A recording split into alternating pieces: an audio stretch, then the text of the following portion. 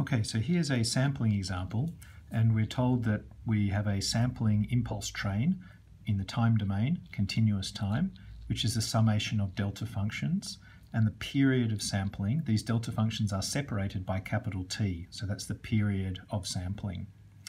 And we're told that the Fourier transform of this sequence of delta functions, which are doing the sampling in the time domain, is also a sequence of delta functions and it's in the frequency domain. And you can confirm that uh, for yourselves or use uh, standard Fourier uh, transform tables. Uh, and the form of this Fourier transform is a scalar, 2 pi on t, times the summation of these delta functions. And the delta functions are offset by an integer, which is k, uh, times omega s. Omega s is given by this formula, and we're asked the first part to sketch that Fourier transform for the sampling period t equals pi on 3. So in this case, omega s equals 2 pi divided by pi times 3, which equals 6. So we have to sketch this Fourier transform of our sampling waveform for omega s equals 6. So this is a sequence of delta functions. Uh, let's uh, plot them here. So here's uh, the omega, and this is the capital P j omega, the Fourier transform. And uh, we have, for k equals 0, we have a delta function at 0. So this is this delta function here. And the height of the delta function is 2 pi on t, which also equals 6. Uh, and then the, when k equals 1, we have a delta function at omega equals omega s, which equals 6. So we have a delta function at 6. When k equals 2, we have a delta function at 12. Uh, and the same for the negative values, minus 6, minus 12. Uh, and these repeat forever because that's an infinite summation. So this is the Fourier transform of our sampling waveform. So then the next part of the question, uh, such as this, would be to be given a time domain sequence and a signal and being asked about the Fourier transform of the sampled version. So x is our signal in the time domain, a continuous time. We're multiplying by our sampling period uh, waveform pt, and uh, again for t equals pi on 3. Uh, and then we are asked to find the Fourier transform, sketch the Fourier transform of that sampled waveform. We're given the Fourier transform of x. So here is x, it's a low pass because this is the frequency domain. It contains low frequencies, not high frequencies, but low frequencies. And this is typical of many signals, many smooth signals. So we have multiplication in the time domain, and we know that this is equivalent in the Fourier transform to 1 divided by 2 pi times the convolution x of j omega convolved with the Fourier transform of our sampling function. So multiplication in the time domain is convolution in the frequency domain with this scaling of 1 on 2 pi.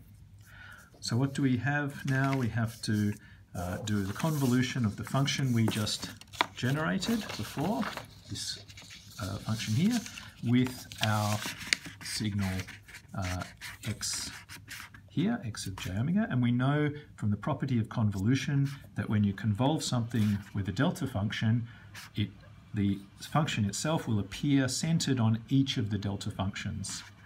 That's a property of convolution with delta functions. So that's what we will have here. Uh, so we will have uh, our function here, there's a delta function at zero, so we'll have our function here uh, appearing, I've just drawn the scale and the horizontal a little more squashed in so that we can see it, but this will be uh, our basic function around the impulse was, which was at zero, and then we had a, also a, a, a delta function at six, we had a delta function at 12, and we had a fun delta function at minus 6 and minus 12. So this is our uh, the Fourier transform of our sampled function. Okay, and the height of this is 1 divided by 2 pi times the height of the x and the height times the height of p. So that was 12, so the height of this here is 6 times 2 divided by 2 pi, which equals 6 divided by pi. And now we might also be interested in a sampled version when the period of sampling is longer. And so that's what we're going to look at now. So here, sketch the Fourier transform of that sampled waveform if the period was twice as long as the period before.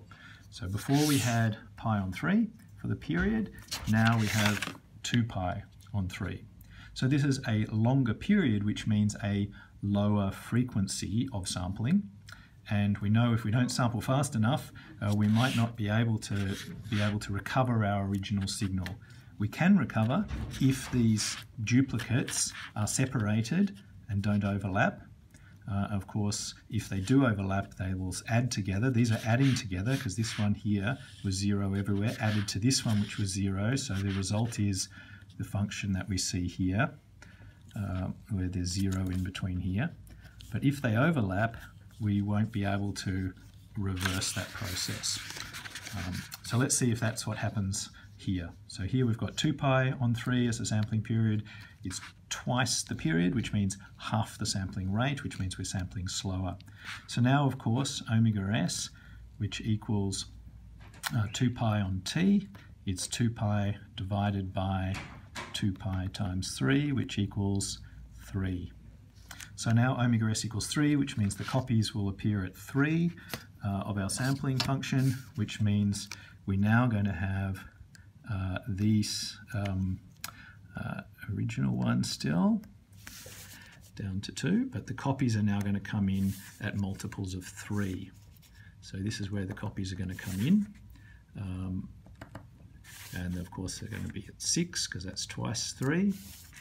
Uh, and copy at 9.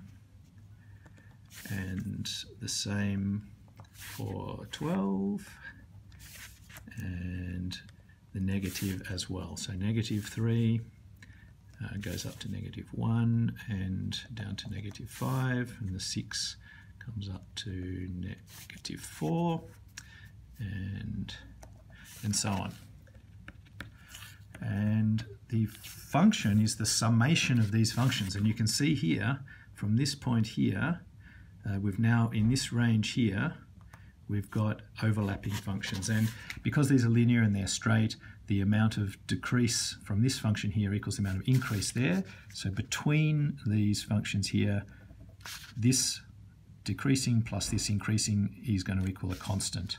So what we're going to have is a constant when we add up those copies between the peaks and then of course we have the peaks.